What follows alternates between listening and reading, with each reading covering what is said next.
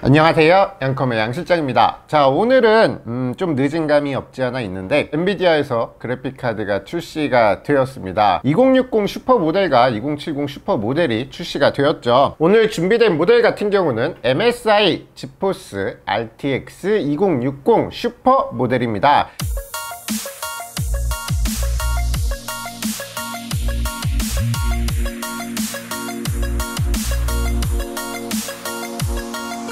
트윈 프로저 7 모델이고요. 그냥 박스 디자인이나 외관 디자인은 그냥 다 기존에 있던 트윈 프로저 7 모델과 완전 똑같이 생겼어요. 근데 이제 조금 성능이 올라갔다고 하죠. 지금 2060 슈퍼 모델 같은 경우는 기존의 2070급의 성능이 나온다고 하고요.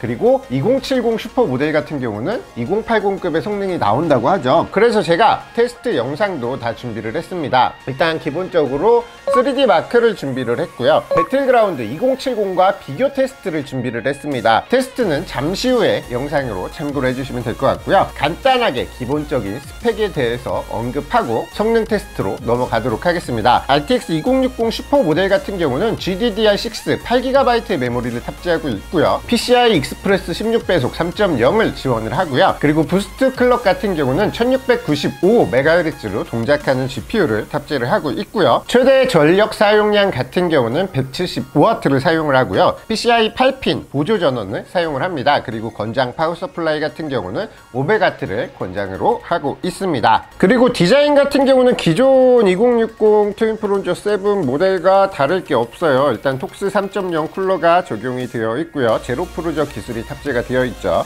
그리고 히트파이프와 heat sink 역시 기존 모델과 동일하게 구성이 되어 있고요 그리고 후면부 backplate도 기존 모델과 아주 동일하게 구성이 되어 있습니다. 그리고 출력 단자 역시도 완전 기존과 동일하게 DisplayPort 하나 그리고 HDMI 포트 하나를 구성을 하고 있습니다. 자 그럼 바로 게임 테스트 영상으로 넘어가도록